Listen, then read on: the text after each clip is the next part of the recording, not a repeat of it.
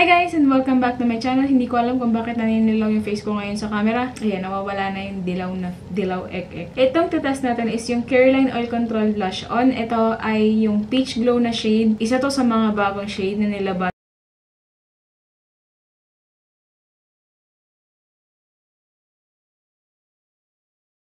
ng Caroline nung 12-12 yata yun. Basta sinabay nila sa 12-12. So, nung sinabay nila, sinail pa nila agad. 42.75 lang yung bili ko sa kanya. Pero ang SRP niya talaga is 95 pesos. So, sana mapanood niya hanggang dulo ng video kung maganda ba tong product na to and kung ano yung shade na to. Kasi itong shade lang yung binili ko which is yung peach glow. So, sana ma-enjoy nyo. Kahit isang shade lang yung mapakita ko. Pero matagal-tagal kasi natin tong winner test. Although wala akong check-in, pagpasensya niya na. Pero marami naman ako nasabing fine details about this product. So, yun guys, just keep on watching.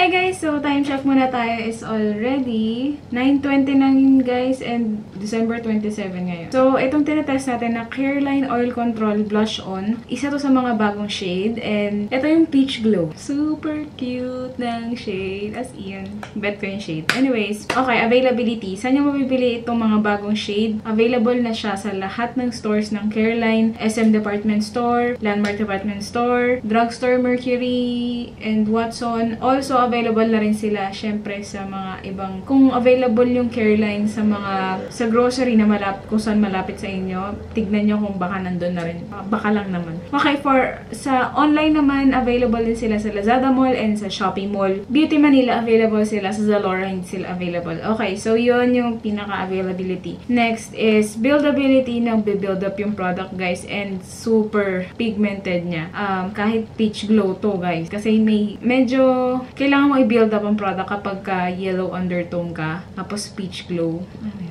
Parang magkapamilya na kasi. So, ganitong brush yung ginamit ko kanina. This is a dupe from isa sa mga brushes ng Wet n Wild. Dupe lang to. So, kung gusto nyo palang ano ah, marami kasi akong brushes na binili na magaganda. Mga dupe sila. Mura. Okay guys, ito lang parang, gawin ko ang tawag dito. Basta mukha naman siyang blush brush. And ito yung ginamit na sh ano, shade. So, guys, medyo pigmented siya. So, kung kukuha kayo ng product, dapat pa konti-konti. Huwag yung madiin. Parang light-light lang. Tapos, tak takpak nyo pa din and then tsaka niya ilagay. Medyo mahirap kasi, hindi naman medyo. Um, sakto lang. Kailangan maglalaan ka ng time kapag napadami ka ng ano, ng, ng lagay. It's either i-diffuse nyo or i-blend out nyo gamit yung brush na gamit nyo. Or, kung wala kayo, kung ayaw na talagang mabawasan yung pigment, balik kayo dun sa applicator ng foundation na ginamit nyo. Or, kung wala, kung hindi kayo nag-foundation, blush lang talaga, kuha lang kayo ng hindi gamit na, na brush and then i-try to blend out or any sponge na hindi gamit, okay lang din. I-blend out mo lang din. Basta kailangan mo lang siya i-diffuse. Medyo pigmented siya eh. So, a little goes a long way din siya. Kahit maliit lang to, palaban to. For blendability, okay siyang i-apply syempre with brush. Pero, meron kasi siyang kasamang parang sponge ba to? So, may kasama siyang ganito. Parang siyang sponge na hindi. Pero pang powder tong klaseng ano, applicator.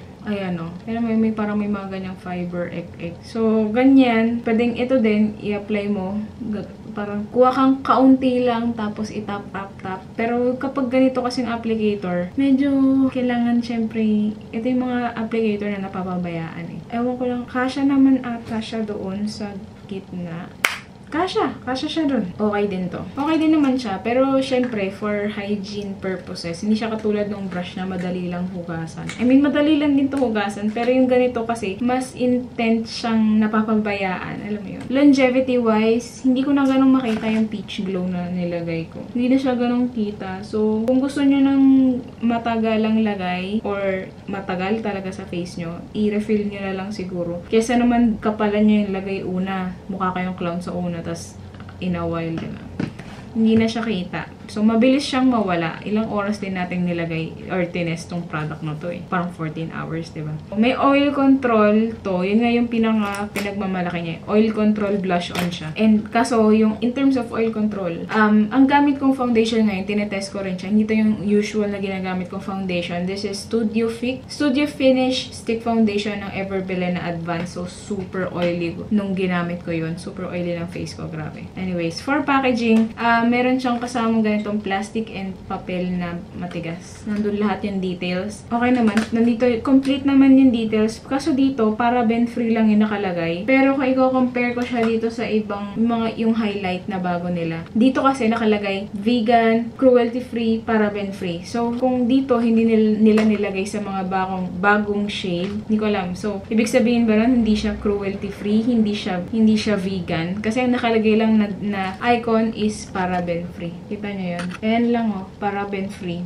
Tapos, yung 24 months sa pan-open siya mag-expire. 3.5 grams siya. Nandito naman yung manufacture date, merong batch number, stock number, kung saan siya dinistribute, kung saan siya ginawa, made in China, yung directions, ingredients, warnings, other information, lahat nandito naman. So, nakalagay nga pala dito, enriched with vitamin E, get that healthy pop of color back into your look with the Caroline Oil Control Blush on. This powder blush is packed with pigment and infused with vitamin E and oil control formula for a healthy glow that keeps your skin soft and smooth without looking dry or powdery. Sweep on for a delicate blush or build it up for a color that lasts all day. So, yun nga. Yun nga yung sinasabi ko. Kung gusto nyong matagalan, i-build up nyo. So, me medyo magmumukha kayong clown nun eh. Pag kinapalan nyo sa una. Eh.